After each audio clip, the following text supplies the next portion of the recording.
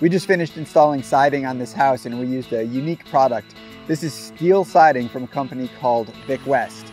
If you're familiar with vinyl siding, you'd likely be able to install this product pretty well, although there are some differences. Just aesthetically, for example, you'll see that instead of mimicking lap siding, this product horizontally mimics uh, nickel gap siding and the same material can be installed vertically to look like a uh, board siding. When you start to work with the product, you will notice there are some differences between working with steel and working with vinyl, some things that we got to know quite well over the last couple of weeks. It has the same kind of lock edge on the bottom and nailing strip on the top. Just like with vinyl, you start with a starter strip at the bottom of the uh, wall and you hook your first piece onto that and you work your way up, leaving the screws a little bit loose, just like you would with vinyl. But what makes it really different from vinyl is that you are working with a different material that takes different tools to cut.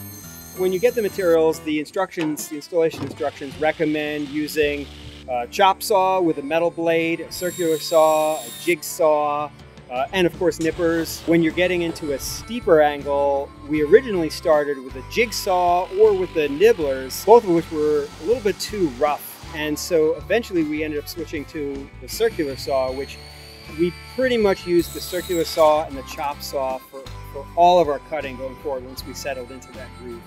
And speaking of that, you figured out a way to locate the vertical pieces in the J channel as you went without, without them dropping to the bottom of the channel and having it be open at the top. Yeah, so when you're running the horizontal pieces, you're basically just evenly spacing it between whatever is on both sides, whether it be a J channel or a, a, corner trim, and then you set a screw and it just hangs there. But if you're running a vertical piece, you're always gonna be running it into a J channel on the bottom. You wanna leave that gap for expansion. So what we've done is we've ripped a little shim out of wood and we slid that in there and each time we placed a new piece into the J channel, we would rest it on top of that shim, put in the first screw at a point that would hold the, the piece up and then we'd slide the, the shim out in order to use it for then the next course. Well, another thing to note about this product is that it's steel. It is easily scratched during the installation. Um, you, so you do have to be extra careful when you're installing pieces not to scratch them. Uh, fortunately, Vic West gives you a touch-up pen and we just kind of incorporated touching up the pieces as part of our process as we went along, whether we saw the a little scratch when we were cutting the material or whether we saw it during installation. I really enjoyed working with this material. I would certainly put it on my own house. It takes a bit more time than most other siding materials that I've worked with, even ones that are similar to it, just because you have to be a lot more precise with the cuts with the metal. You don't have as much flexibility mm -hmm. as you mm-hmm. do with other things.